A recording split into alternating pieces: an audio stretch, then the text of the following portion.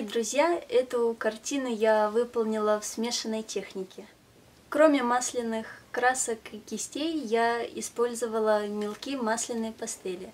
Вот примерно вот такой набор. Мне очень понравилось писать э, масляными мелками по высохшей масляной краске, и вам тоже советую так попробовать. Сам же Дега писал эту картину а, обычными мелками меловой пастели.